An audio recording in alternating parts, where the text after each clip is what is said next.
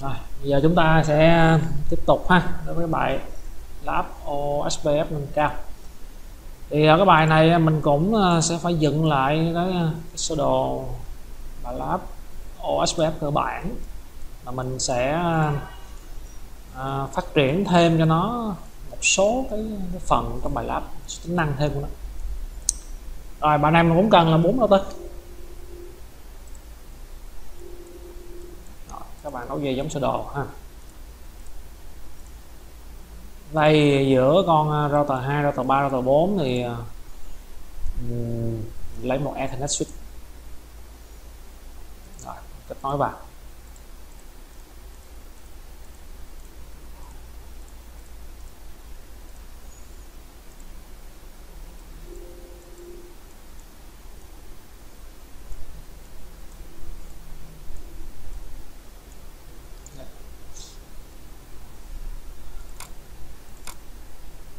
Cái uh, sơ đồ bài lab mà và cái file uh, cấu hình mà các bạn sẽ sử dụng ứng với bài số 6 ha. Thì cái uh, cái hình hình của bài lab mình giống như vậy. Đây để mất thời gian mình sẽ không có vẽ lại hình này nha. Lấy hình này mình nói luôn. Cái file cấu hình đó sẽ ứng với bài số 6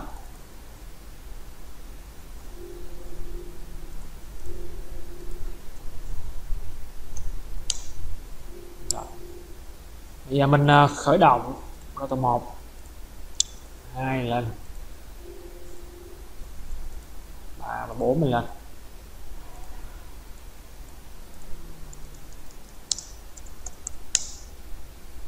Rồi.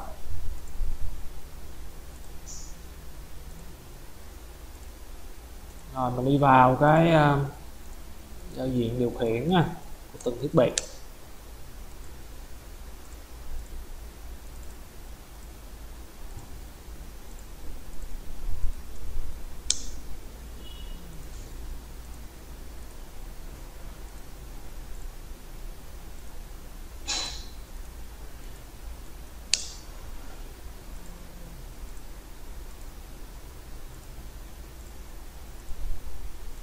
Hiện thời thì à, các cái à, router bên trong sơ đồ mình ha mình à, chưa có IP gì hết ha. Okay, các bạn thấy lấy trong file note nè. Phần đầu này mình ghi sẵn cho mọi người cái cái IP luôn rồi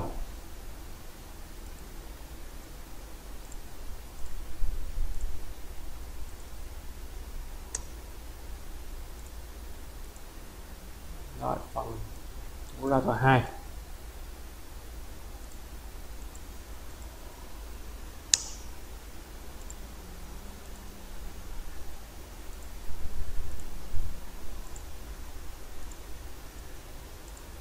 router 3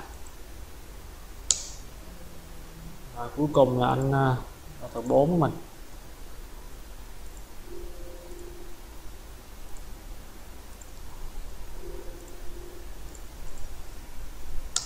Rồi coi như bị gắn xong. Đây là sơ đồ.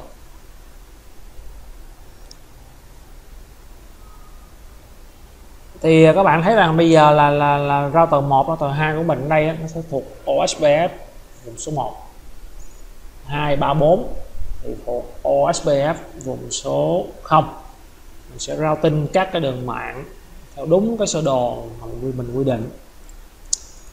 À, đi vào router 1 đó router OSPF 1 rồi lệnh này nghĩa rằng các bạn chọn cái cổng mạng 192.1.12 à, tham gia vào tiến trình OSPF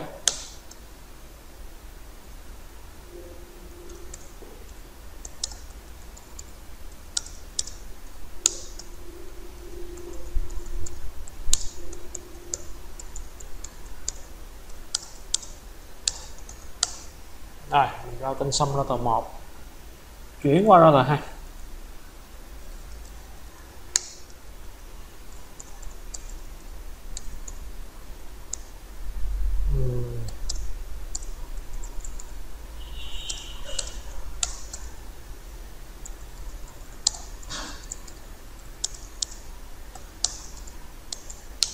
rồi, ra tờ 2 xong.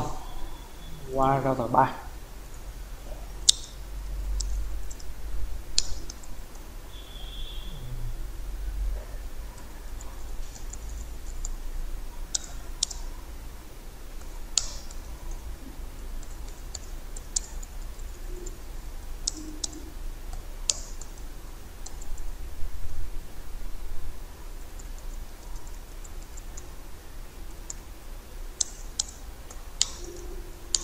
rồi cuối cùng là router 4 à.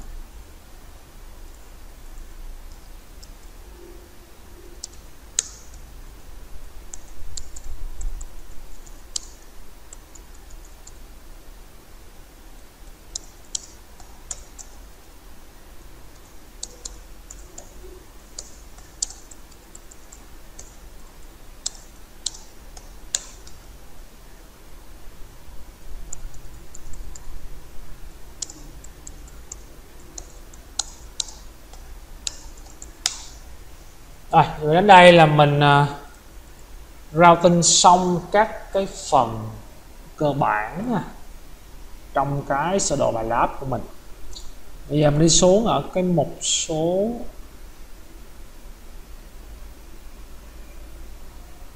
bốn của bài.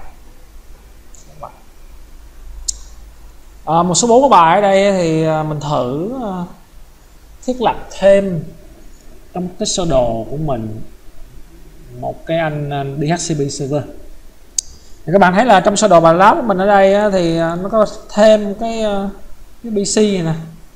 Nối xuống cái con router 2 thứ nhất, bây giờ mình thấy là chỗ này nghĩa rằng nó đang phát sinh thêm một đường mạng. Giống như là hệ thống mình đang chạy đi. Rồi các bạn à, cơ quan đơn vị của mình có nảy sinh thêm một phòng ban nào đó.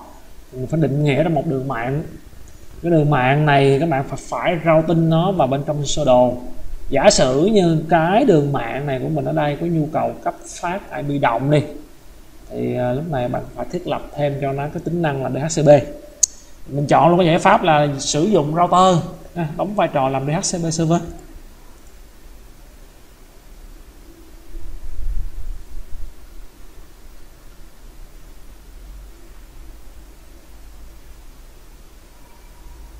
Ok, chỗ này thì mình review là một chút. Để cho một máy tính của mình đó, kết nối được internet. Thì ở cái việc mà đi xin IP động đó, DHCP server nó phải cấp cho mình cơ bản là địa chỉ IP số subnet mask số default gateway và DNS server. Các bạn nhớ là cái quá trình hoạt động của DHCP server thì nó sẽ dựa trên cái postcard bởi vì vào thời điểm ban đầu thì một cái máy tính của mình nó đâu có địa chỉ IP đâu. Làm sao nó gửi dữ liệu? Thì lúc này nó phải phát ra với cái IP đích đến là broadcast nó đi hỏi la làng lên cho nguyên cái đường mạng, hỏi coi trong đường mạng này của mình là ai là DHCP server nếu như cái máy nào mà DHCP server nhận được, sẽ trả về gói tin DHCP offer unicast sau đó đẩy lên DHCP request dạng postcard, trả về DHCP ACK dạng unicast ở chỗ này có một phần mở rộng thêm ha. Các bạn đừng nghĩ rằng DHCP thì chỉ cấp được IP subnet mask gateway và DNS đừng nghĩ rằng DHCP chỉ cấp được đúng bốn yếu tố đó. À, bởi vì nghĩ như vậy là các bạn sẽ sót sót rất là nhiều cái option. Thì ở trong cái file note á, thì có ghi bằng cái link nè. À, mình mở uh, link này lên. Cái file này cho mình coi là gì? Các cái DHCP option. DHCP nó có tổng cộng là khoảng 255 option. Option số 3 default way. Option số 1 là subnet mask option số 6 à, là số 5 là DNS server. Như vậy là cứ mỗi một cái là bạn dùng một option. Và còn rất là nhiều cái option khác. À, còn rất nhiều cái option khác nữa. Nên chỗ này nhớ nhớ là mình mình, mình suy nghĩ một cách thoáng hơn nha. DHCP ngoài việc cấp IP subnet mask cách quay DNS thì nó còn cấp thêm được rất là nhiều option khác. Đó thì mình tra cú thôi. Rồi quay lại bài lab của mình. Ở cái bài lab của mình ở đây á, thì hiện thời là gì? Các bạn thấy là cũng router 2 của mình nó có à, thêm một cái đường mạng. Router 2 của mình ở đây á, thì nó có thêm vào một cái đường mạng mới. Thì nghĩa rằng nếu như tôi có nhu cầu thêm vào thì đầu tiên tôi phải vào đó tôi gán cho nó cái ờ, IP đúng không? Cho nó IP chính đã. Rồi hỏi rằng nếu giờ cái máy này tôi mở lên thì nó, có kết nối được sang cái đường mạng 10 đường mạng 30 đường mạng 40 này hay không? Cũng không luôn. Và nghĩa rằng muốn thấy được phải routing đó. Cái máy này muốn có IP động thì con ra tờ hai của mình đây cơ bản là phải cấp DHCP cho nó. Cái phần này ở đây thì mình sẽ ờ, làm cái này cho chung một cái như là router 2 ha phần nốt ở đây nha. Quay ra router 2 uhm. à, nhiều cửa sổ quá. Có vẻ không có đầy luôn nha.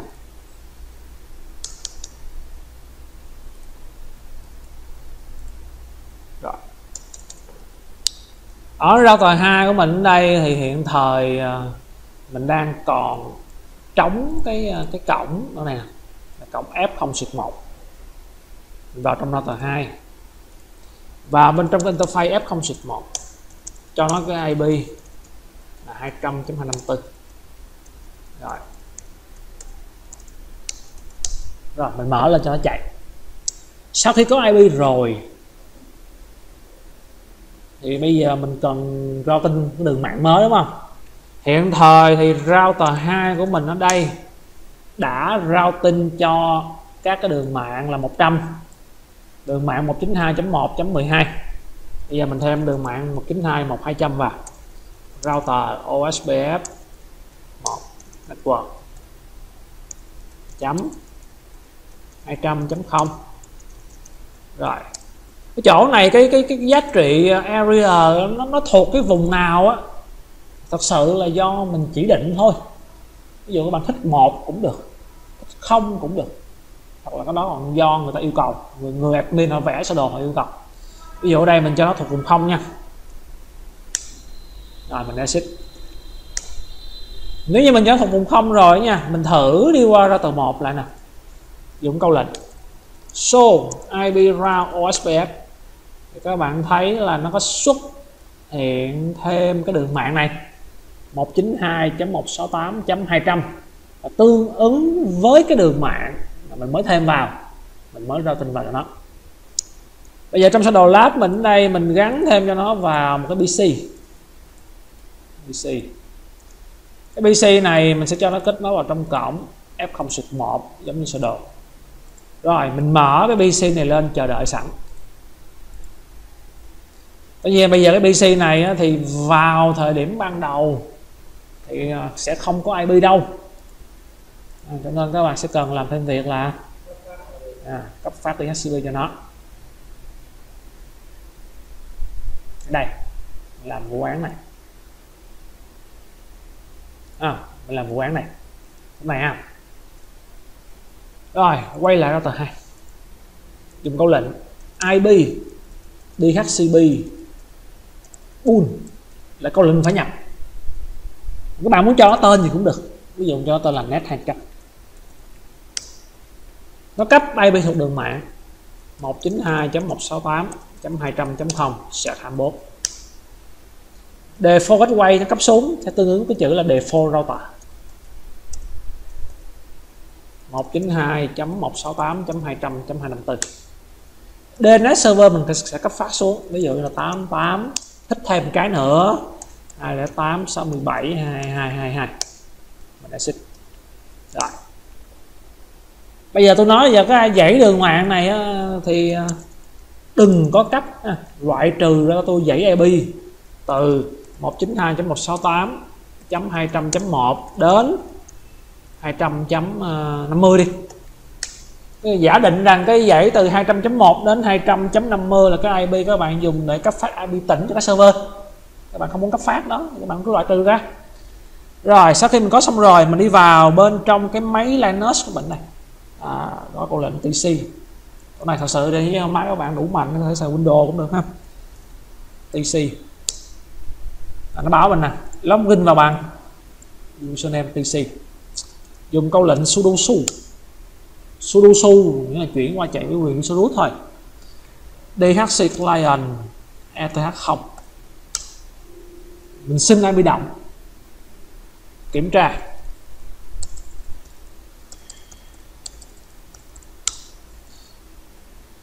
Wow.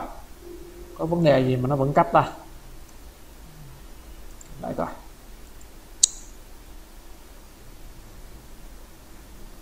Mình đã loại trừ rồi. Sao mà nó vẫn cấp? Đúng ba chỗ này nó không phải là 200.1 xin lại lần nữa. Vẫn là 200.1 clear.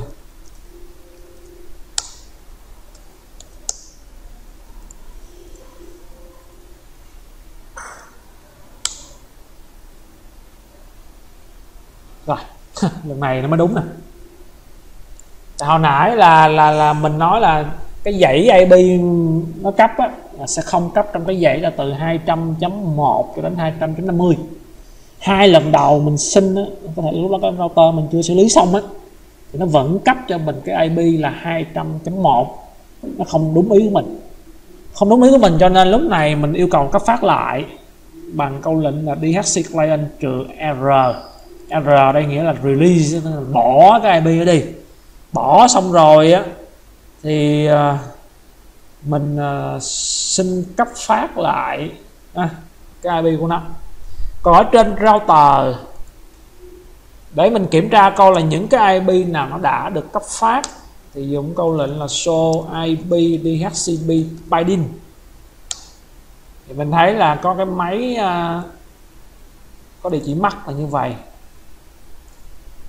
Như này này nha. Được cấp phát IP.251 giả sử như các bạn muốn clear được cái section này á, thì dùng câu lệnh clear IP DHCP binding sao? Sẽ xóa đi cái bảng này đi. Show lại. Đó, lúc này không còn. Cũng như là lâu lâu mình xóa đi cái cái cái cái, cái lốc của DHCP server của mình đó. Rồi nhớ là cái trọng tâm của cái chỗ này nghĩa rằng các bạn đang cố gắng thử ha kiểm tra coi là tôi có thêm một đường mạng mới vào. Phải làm gì? Rồi xuống phía dưới chỗ này.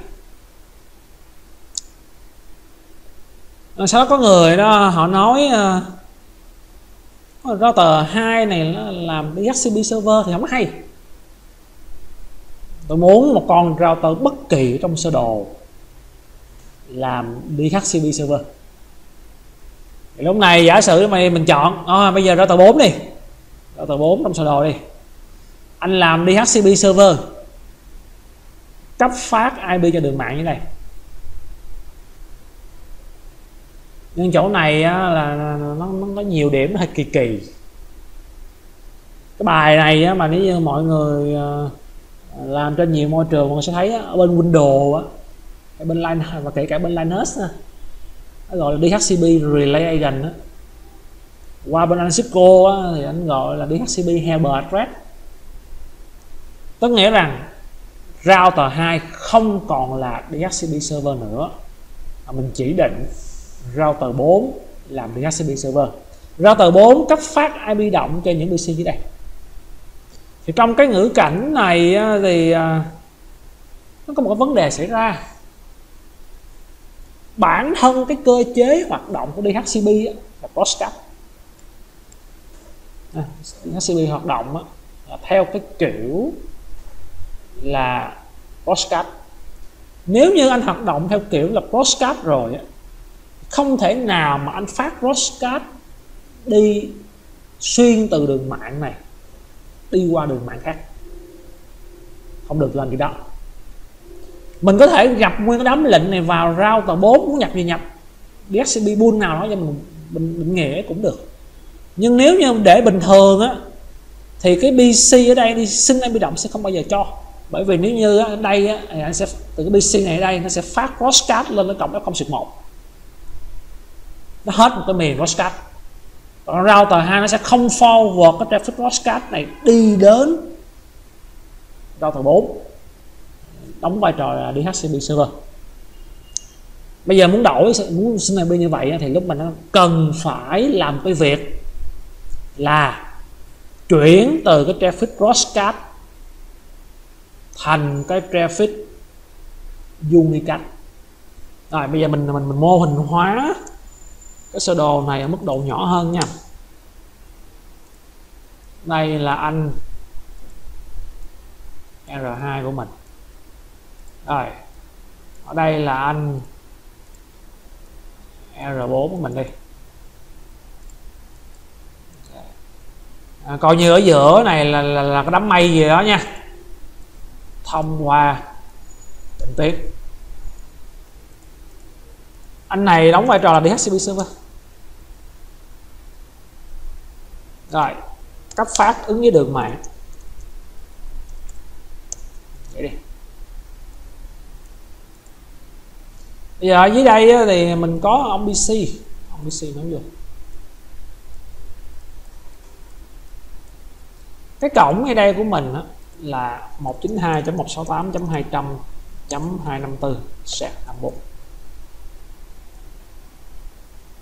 ở cổng ngay trên router nha bây giờ cái máy ờ, cái máy ở dưới PC mình ở đây đi sinh đang bị động. Thì nó sẽ phát lên đây nè. Là traffic uh, broadcast.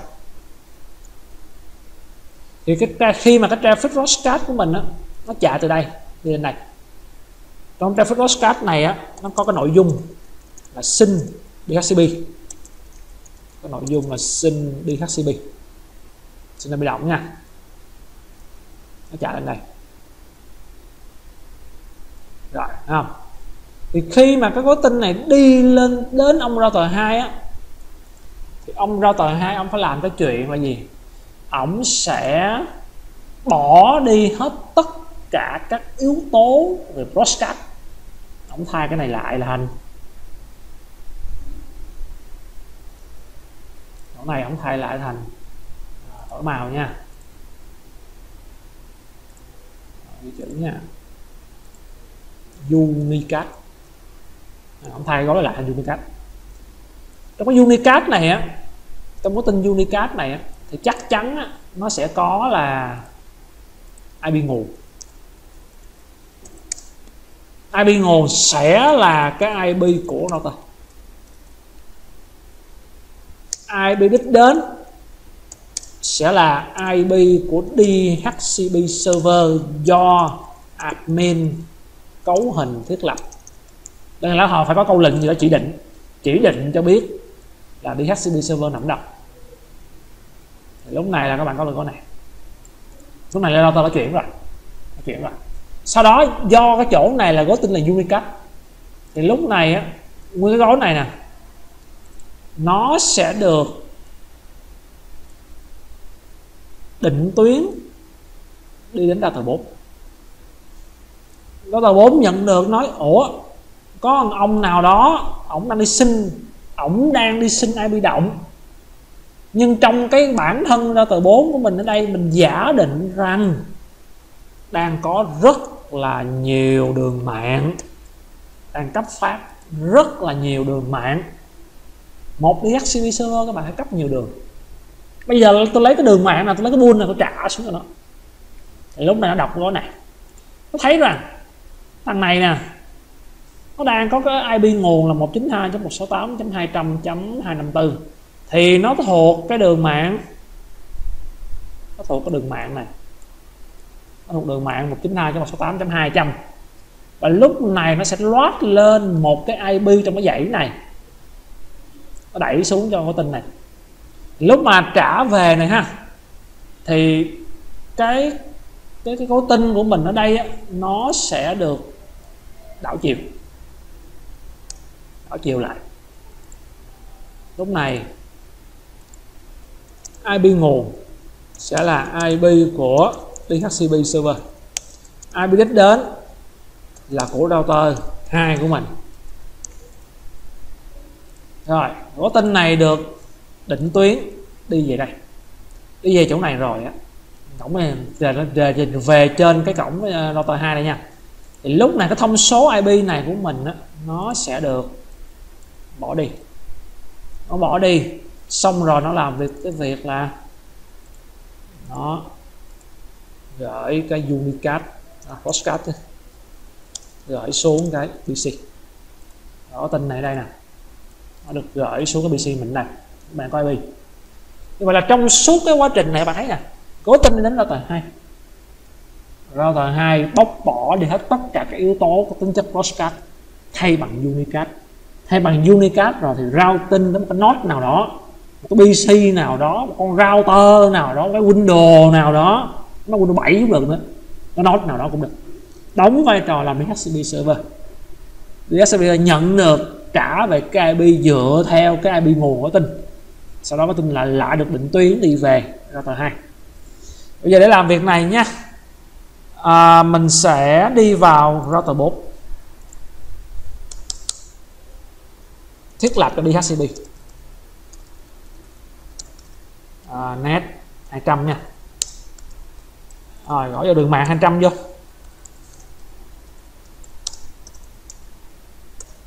À, default router.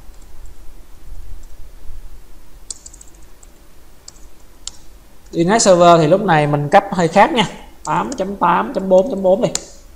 That's it. bây giờ mình đi qua router 2 ở vị trí của ờ, router 2 á, thì lúc nãy mình đã có DHCP server rồi đúng không? Giờ mình xóa đi. Xóa đi.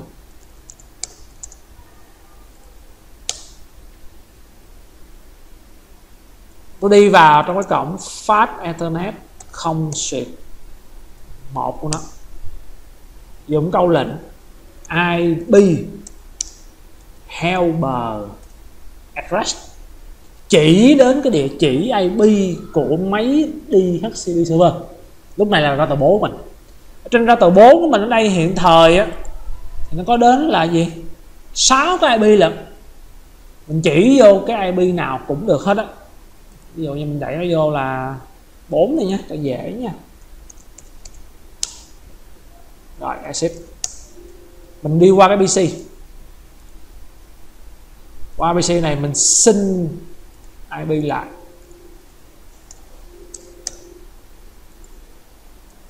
DHC client trừ R, bỏ IP cũ đi. Rồi, xin lại IP mới rồi bạn nó vẫn cấp phát đúng không? Thì bạn thấy bây giờ DNS là nhiêu? 884 đúng không? Là cái IP mà do con router 4 thấp á. Bình thử nha. À, binh đại cái bữa đại tầng 1 nè. Một một nè. Thấy bình được đúng không? Binh đại đến cái à, IP của 4 đi. Ok. Có nghĩa rằng cái máy mà mình mới gắn vào trong sơ đồ nè à, cái máy mình mới gắn vào trong sơ đồ này nè. À, nó nó nó nó nó đã sao? Có thể binh được đến các nốt. Trong cái những cái, cái, cái miền mạng màu xanh xanh gì đó xanh dương ha. Màu vàng của mình. Rồi. Đó là cái phần ở cái uh, số 4 sau cái phần số 5 của bài thiết lập default root OSPF các bạn nhớ rằng là mỗi giao thức định tuyến động hướng nội nó đều có khái niệm default root hết. Ở bài Rip các bạn có Rip default root. Ở OSPF nó cũng có OSP OSPF default root. Gõ mấy lệnh tới các bạn sẽ thấy là là, là default root OSPF giống y chang như default root RIP thôi. Nên lúc này mình có thêm nó một tính năng mới à là multi matrix tính năng này sẽ giúp cho các bạn là dự phòng trong một hệ thống. Nếu như mà nó bị uh, mất đi cái đường link internet thì để làm việc này ha mình uh, lấy ra một đám mây.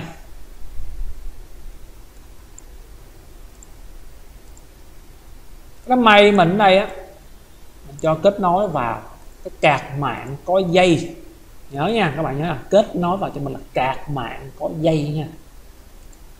Ethernet rồi mình nối nó vào bên trong cái cổng mạng F0 0 của router 1 của mình. Cho nên là giống như hình bên đây nè. Giả định rằng cái đường này á, là cái đường đi ra internet chính thức của nguyên cái tổ chức mạng router 1 router 2 router 4 của công ty gì đó nó là cái đường kết nối internet đó bây giờ mình đi vào bên trong cái ờ, cái cổng ờ, của router 4 router 1 chứ nha. Ở trong cổng này. Là interface F không không.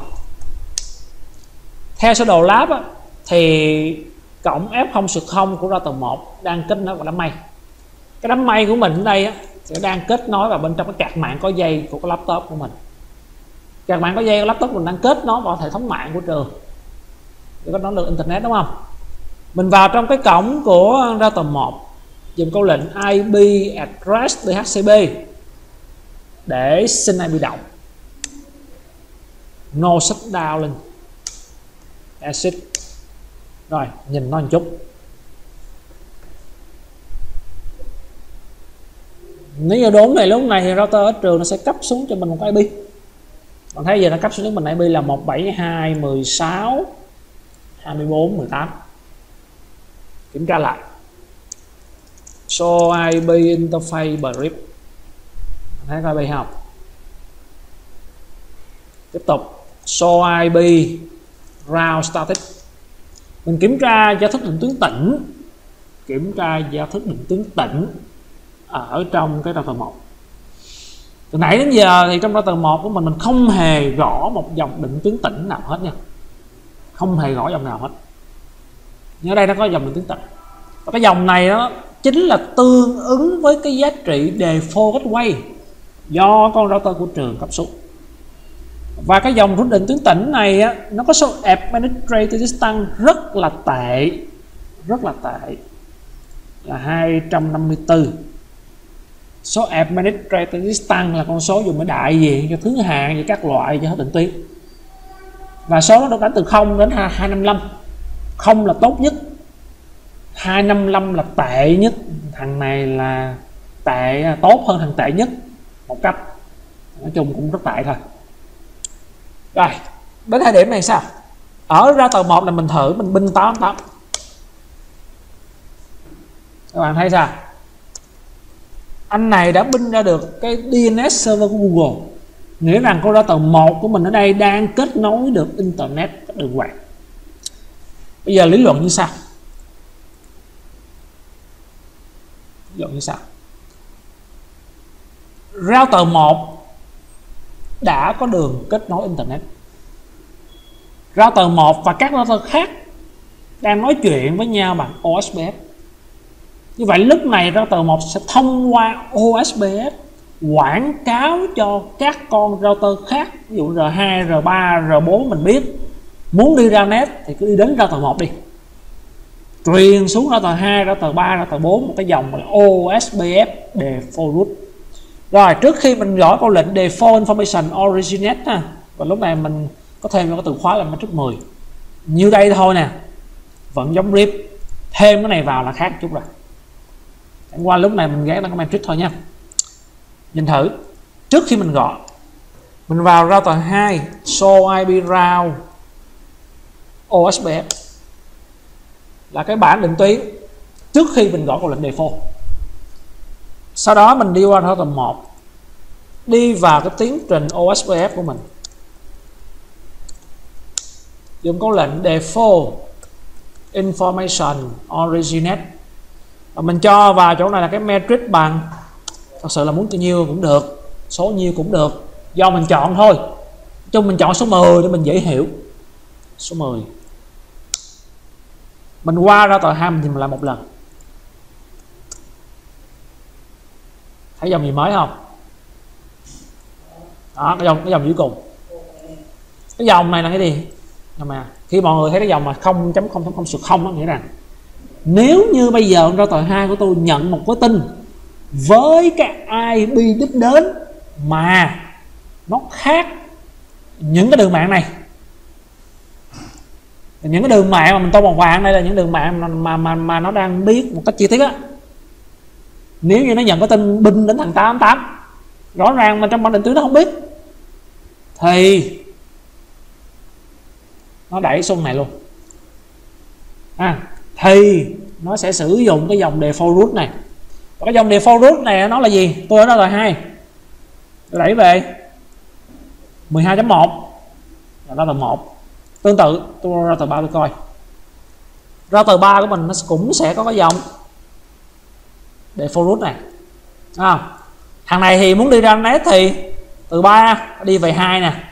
Về 2 thì IP nó là 100.0.0.2 nhìn khó em nha chấm 2 đúng không? Có tên là đi về 2 hai mà nhận được, đẩy về 1 1 là 192.1.12.1 như vậy là lúc này sao? Sau khi mình có lệnh này, thì ra tờ 2 ra tờ 3 ra tờ 4 mình đều có đường routing để kết nối internet.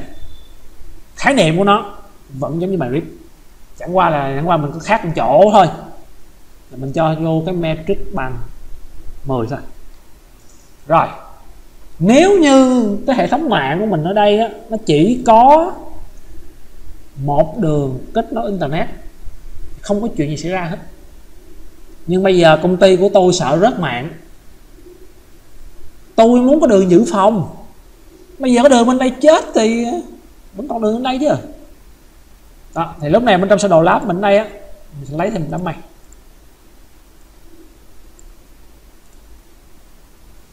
Mình giả định rằng gắn vào bên trong router bài. Thật sự cái bài này nếu các bạn làm làm tốt đẹp á là cái laptop của bạn cái máy bàn của bạn nó phải có hai cạc mạng có dây. Thì bạn mới thử được cái chuyện là đi ra ngoài internet.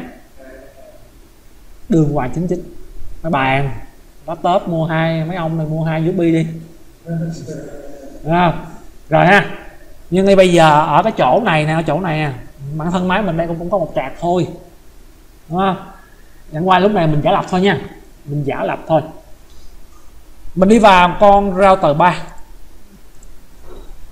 mình uh, tạo đại ra một cái cổng lớp bách 1000 mình nói cái cổng này nè là đường kết nối internet bạch cực. Chữ description này là mô tả có cổng làm gì á. À, nếu như các bạn đang quản lý hệ thống quan trọng á thì trên mỗi mỗi một cổng mạng các bạn nên ghi mô tả ra. Cổng này kết nối vào đâu? Để mình nhìn mình nhìn vào để mình biết. Hoặc là không đi cũng được. Làm khó người ở lại thôi. Trước khi chia tay thì xóa hết đúng không? Nhìn vô đó ráng mò đi anh. Ừ, chỉ vậy nữa là ghê đúng không? Rồi ok. Chỗ này mình gắn đại vô IP tầm 7 nha. IP address gắn đại vô là trăm trăm trăm trăm trăm trăm trăm. À, số này. À, coi như coi như rằng đây là đường link kết nối internet. Cái hành động này giống như là hồi nãy là mình mình đi vào bên anh ra tầng một nè. À, mình đi vào trong cái cổng của nó mình xin IP động thôi. Chẳng qua bây giờ bên router 3 ở đây thì mình gán cho nó cái bị tỉnh rồi, mình dùng câu lệnh IP round. 000 đẩy về cộng lớp bách cộng nè mình thiết lập cho nó một cái dòng static để default round bởi vì câu chuyện xảy ra là nó là bây giờ nếu như con router 3 nhận một cái gói tin nhận một gói tin với cái IP đến mà nó không biết trong lệnh tuyến thì đẩy đi đâu? Mình muốn rằng nó đẩy đi ra? Nó đẩy đi ra cái đường internet dự phòng của nó nên cứ cho nó bằng cái dòng định tuyến tỉnh mặc định. Rồi, sau đó, con rau tờ 3 mình của đây nó cũng làm cái trò giống như con rau tờ 1 nó quảng cáo xuống cho hai, cho 4 cho một biết nó có đường đi ra net nhưng lúc này mình sẽ cho nó với cái metric bằng 20 mình sẽ cho nó bằng matrix bằng 20 rồi, bên ra tờ 1 thì quảng cáo với matrix bằng 10 ra tờ 3 quảng cáo với matrix bằng 20 câu hỏi đặt ra, router 2 nó sẽ nhận cái dòng root của router 1 hay nó nhận dòng root của router 3 cuối cùng thì nó sẽ sử dụng root nào?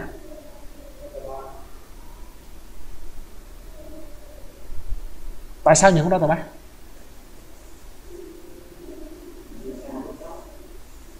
tại sao? Đúng ra là mọi người phải suy nghĩ là chi phí nào thấp chứ. Nè, cùng một món hàng là đường mạng 0.0.0 sẽ không. Một người quảng cáo với chi phí với metric bằng 10 thằng R3 quảng cáo đường mạng 0.0.0 với chi phí với metric bằng 20 mình phải chọn theo nguyên lý. Rẻ. Nghĩa là nếu như mình nghĩ một cách thông thường á, thì con rau tờ 2 sẽ sử dụng cách đi của rau tờ 1 và cái dòng OSBF default root, cái dòng OSA 2 của nó đó sẽ có số 10 nó sẽ có số 10 giống như vậy giống như vậy.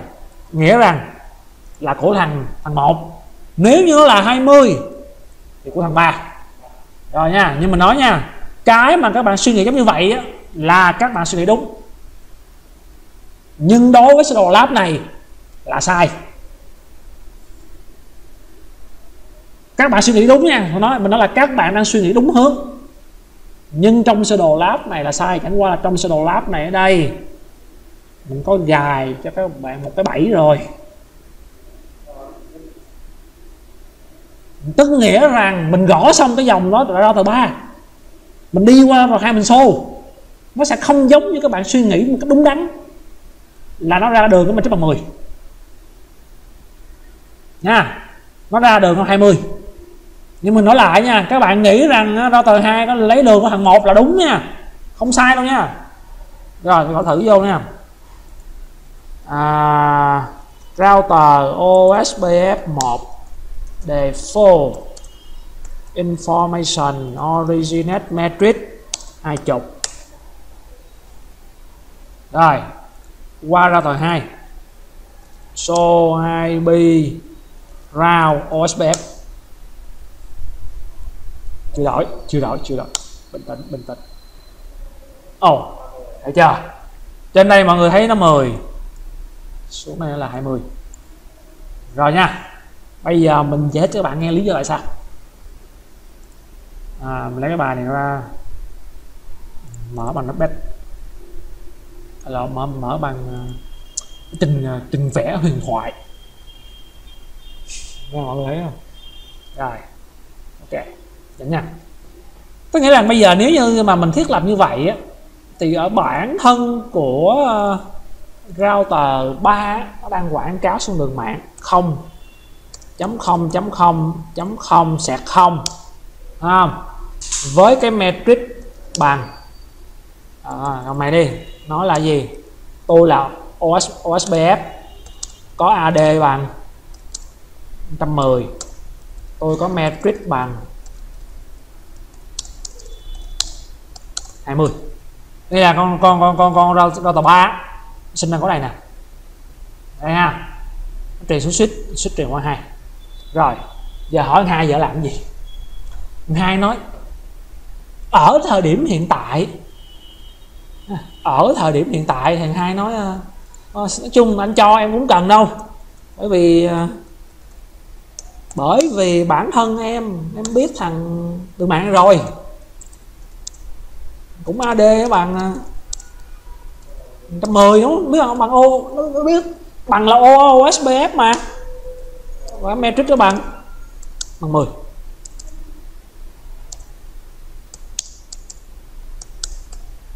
Thế đây là đây là cái có tin LSA nó truyền xuống á. Nó nhận vô. Nó tính toán nó nói tôi biết đường tốt hơn anh nữa. Tôi không nhận.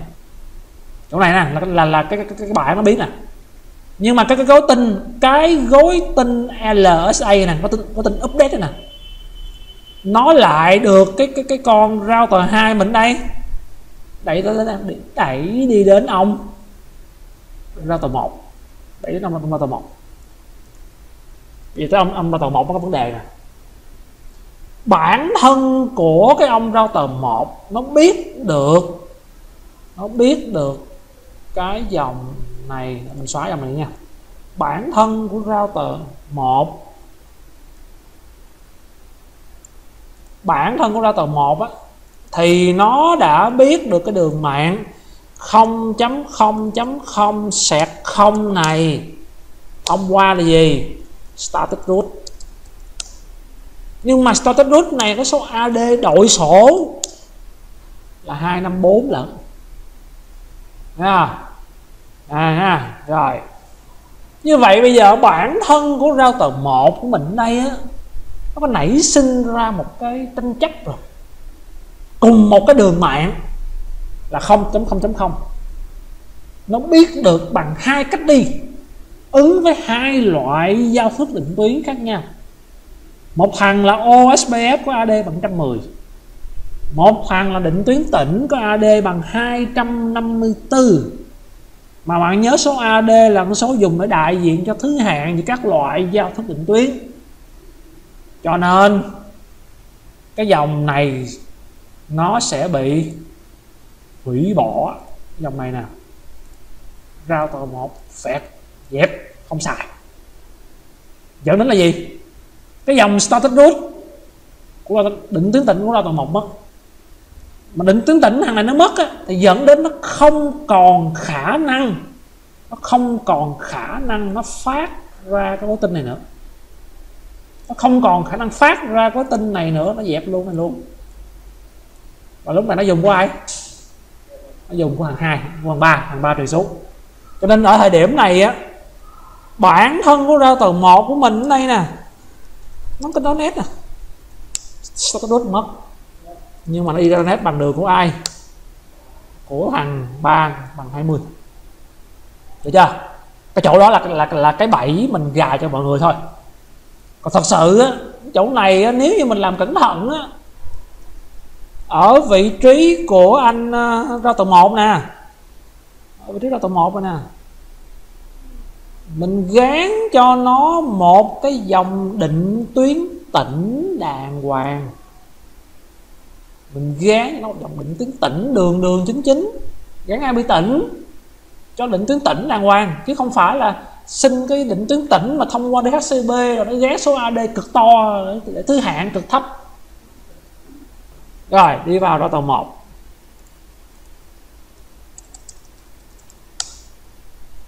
IP route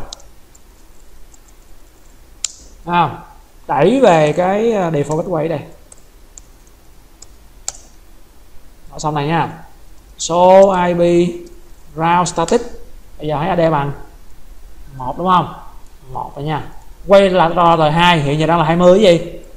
Bây giờ nó ra lại 10 nè. Bây giờ bản thân của ông số 4 thì cũng đang dùng của ông này đó, mấy mấy con này đang đang ra nét đang đi ra nét bằng cái đường. Đường chính. Rồi tiếp tục. Một ngày đẹp trời. Đường chính là bị chết. Bị chết. Đây là mình sẽ đi vào ở bên trong cái cổng uh, F. Không xuyệt không của nó. Tắt đi. Tắt đi. Tắt đi Rồi tắt nó đi coi như là cái dòng cái dòng à, status mình nó vô hiệu lực. Số lại nha. Số hay route status. Bây giờ mất tiêu. Thì vào thời điểm mà mà mà mà mà, mà anh ra vào một của mình đây anh bị rớt mạng nè. Thì lúc này nguyên cái đám user đường mạng 1 mấy bốn cái đường mạng 10 mình đây nè. Sẽ kết nối net bằng R3 này nè mình show IP route OSPF nè. Thấy không? Nó có dòng. 20 nữa chưa qua bên hai này nha. Cũng bằng. 20 đó, mà nếu như bây giờ cái hệ thống mình phục hồi lại thì sao? Thì mọi chuyện của mình đây nó về bình thường.